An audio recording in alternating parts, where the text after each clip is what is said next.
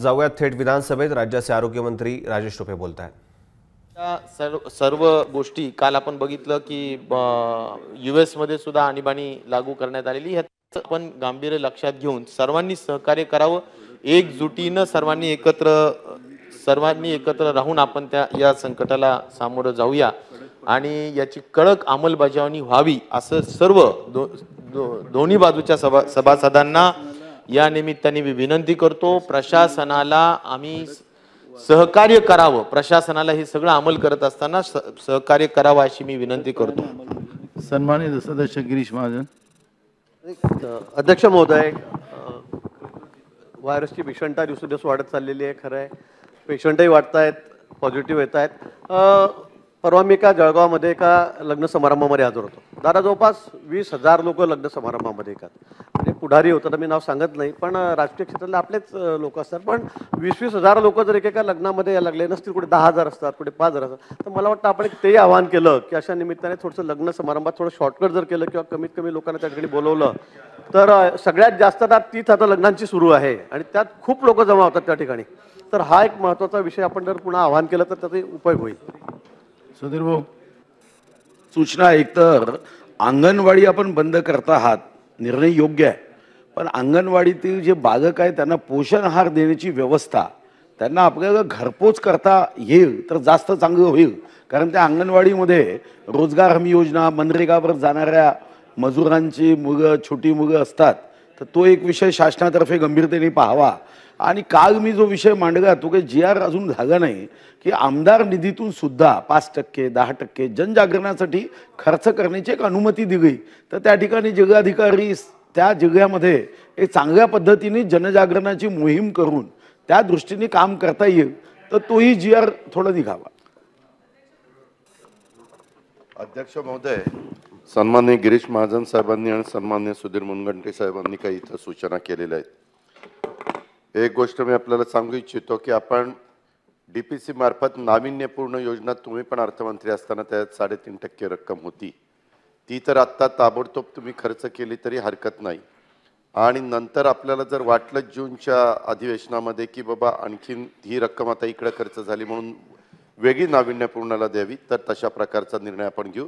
त्याकरता आत्ताच मी सभागृहाला सांगतो की तुमच्या स्वतःच्या तीन कोटीतल्या असणाऱ्या निधीतनं साडेतीन टक्के म्हणले तरी ते दहा लाखापर्यंत साधारण त्या ठिकाणी जात आहे आणि त्या प्रकारे ती रक्कम तुम्ही खर्च करू शकता. दुसरी गोष्ट गिरीशजींनी जी सांगितली महाजन साहेबांनी हे गोष्ट खरी आहे. आम्ही पण आज सकाळी शेखर निकमांच्या मुलीच्या लग्नाच्या करता काही सहकारी जाऊन आलो. आणि लग्न कार्य प्रत्येकालाच वाटतं की आपल्या मुलीचं किंवा मुलाचं लग्न एकदम भव्य दिव्य व्हावं. परंतु ह्या सभागृहाच्या माध्यमातून महाराष्ट्रातल्या तमाम जनतेला आणि सगळ्या वधू पक्षाच्या वर पक्षाच्या सगळ्याच मान्यवरांना मी आव्हान करीन विनंती करीन की आत्ताचा काळ पाहता थोडंसं घरगुती पद्धतीनं काही ह्यांची लोकशे सव्वाशे त्यांची लोकशे सव्वाशे असं अगदी घरगुती पद्धतीनं लग्न कार्य करावं. आणि आपण पण आमदारांनी म्हणजे आपल्याला प्रत्येकाला माणसं सांभाळायची असल्यामुळं फार प्रत्येकाच्या लग्नाला जायची थोडं मनापासून तीव्र इच्छा असते.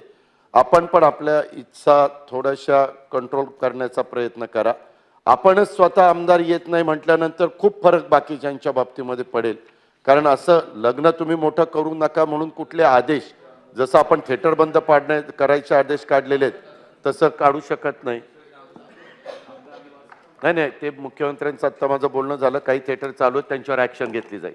आणि हे जे काही सांगितलेलं आहे त्याच्याबद्दलची अंमलबजावणी करण्याच्या करता कुणी जर कुचराई केली तर मात्र त्यांची हायगाई केली जाणार नाही कारण हे वेगळ्या प्रकारचं संकट आहे. आपण सगळ्यांनी काळजी घेतलीच पाहिजे परंतु प्रशासनाने दिलेले आदेशामध्ये पाळण्याच्या करता कुणी कमी पडलं तर तिथं कठोर कारवाई केली जाईल हा ही सूचना मी या सभागृहाच्या माध्यमातून त्या ठिकाणी सांगू इच्छितो.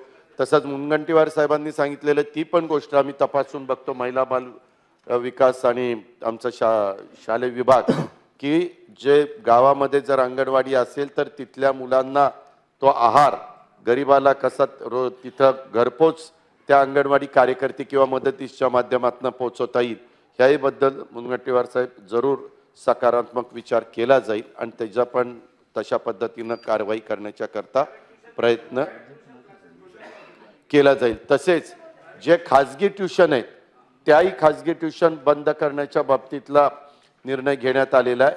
जसं शाळा कॉलेजेसला सुट्टी आहे दहावी बारावीची परीक्षा आणि इतर परीक्षा सोडून तसं खाजगी श- ज्या शिकवणी आहेत त्याला देखील कुठल्याही परिस्थितीमध्ये परवानगी दिली जाणार नाही. त्यांनी पण त्या मुलांना सुट्टी दिली पाहिजे अशा प्रकारच्या सूचना त्याही बाबतीत केल्या जातात. माझी या निमित्ताने माध्यमांनाही विनंती आहे. आज मी माझ्या ऑफिसला गेलो तर कुठल्या तरी एका वाहिनीवर दादांचं एक चित्र चाललं होतं की दादा कुठेतरी हेलिकॉप्टरमधनं उतरले आणि त्यांनी नमस्कार केला लोकांना. हात मिळवला नाही.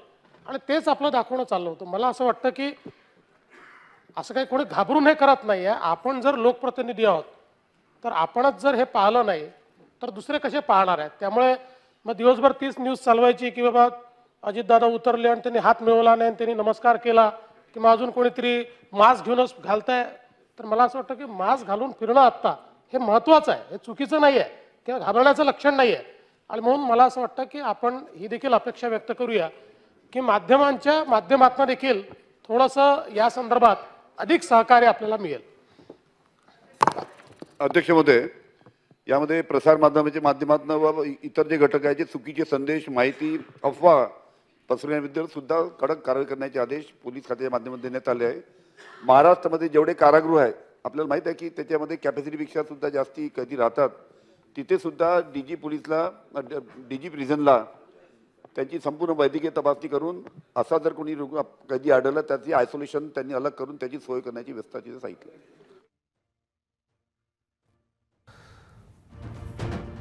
तेव्हा राज्यातील सर्व शाळा आणि महाविद्यालय एकतीस मार्चपर्यंत बंद ठेवण्यात आलेली आहे. कोरोनाच्या पार्श्वभूमीवरती विधानसभेमध्ये चर्चा सुरू आहे. त्या ठिकाणी प्रश्न उत्तर होत आहेत. विविध समस्या मांडल्या जात आहेत आणि अपेक्षा व्यक्त करण्यात येत आहेत. त्यामध्ये एक अपेक्षा अशी आहे की लग्न समारंभ थोडक्यात आणि आटोपशीर व्हावे